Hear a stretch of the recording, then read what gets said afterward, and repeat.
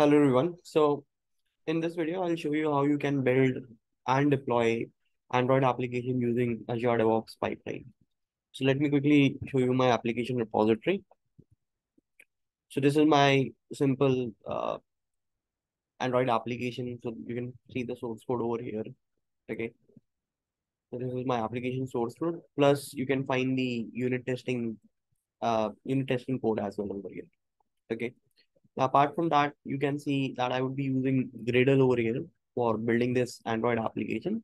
So this is my Gradle property file as well as the Gradle build file, okay, needed for this application to build.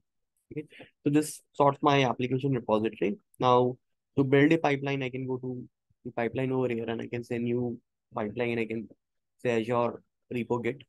Okay, and then I can select my sample Android application repository. Okay, and in the once you select the sample application repository, okay. In my repository, there is already a Azure uh, hyphen pipelines.yml file, okay, which uses a Gradle task over here, okay, which builds my application. Okay. Apart from that, I'm copying the application or I can I'm copying the APK file of my Android app once it is built. Okay. And I'm publishing that uh, APK file to my uh, Azure pipeline container storage.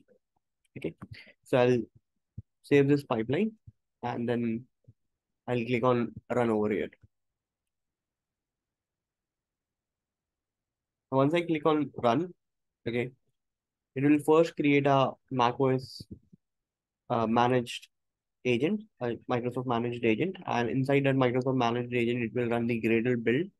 Okay, then it will do the unit testing Okay. Then after that, it will copy my files to the Azure pipeline storage. So it has started its work. You can see over here, the operating system is Mac uh, 12.7. Okay. Now it is getting the application code on the Microsoft hosted agent. Now it is finally initializing Gradle. And Gradle will start building my application. I'll pause the video for a minute. Once this once this is built, I'll show you the logs. See my build is successful. Okay. Now it is copying the files and it has published the APK file inside my pipeline storage. Okay. It's copying the file over here and then finally it is copying my loading the files to the pipeline storage. So if I go to the pipeline, I select this pipeline, and if you look at this job, it, is, it has been executed successfully. Okay, you can see the unit testing results. So there are two unit tests and both of them are passed. I don't have code coverage configured over here for this pipeline right now. So and if I click on the storage, if I expand this part, under release, you'll find the APK file. And this is the unsigned version of this APK file. Now, additionally, if you want to do the signing activity, let's say that you want to sign this uh, app application, okay, then you can edit the pipeline and you can over here before you copy the files, you can do the Android application signing, okay. But again, for this, you will require a PlayStation account, Android uh, Play, Android uh, App Store account, okay. Uh, you need to put those details over here okay, and that will do the signing of the application file, okay. And once it is signed, okay, now you want to upload it to, let's say, Play Store. In that scenario, you can go to release pipeline, and I'll just say apply this for now.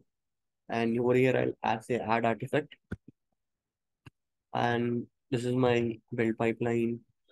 I'll say add over here. I'll initiate the automatic trigger and in the job, I'll remove this job because we are not deploying this application to Azure App Service. It's an Android application. It would be installed on mobile phones.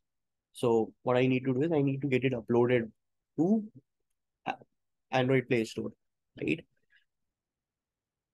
Okay, and that is what the deployment would mean over here for me. And then once it is deployed on the Android Play Store, users can download the application. In order to do, do that, I'll say add a job over here.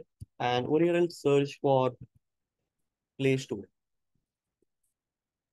Okay, publish to Play Store job. If it's not added to your organization, you would need to add it to your organization first. You can just say get it for free.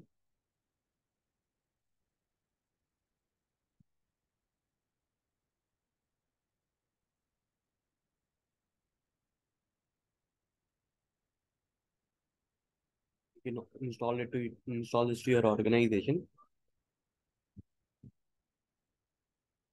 Okay, and once this is done, you can go back.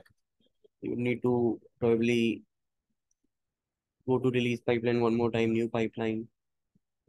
Say apply. Let's select the artifact. Let's select our uh, build pipeline or CI pipeline.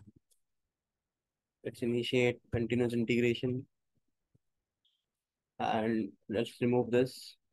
Let's add a job. Just search for Play Store one more time. Okay. And you can select this. Okay. So this Play Store job will publish your application okay to the play store but again in order for this job to get added you need to create a service connection right again you need to put your uh, google play store credentials then only the application could be published to your account okay and once it is published to your account it can be installed by the user the users can download the application and they can install on their mobile so this is how you can build and deploy your android applications using azure devops pipeline I hope you find this video informative. Thank you for watching.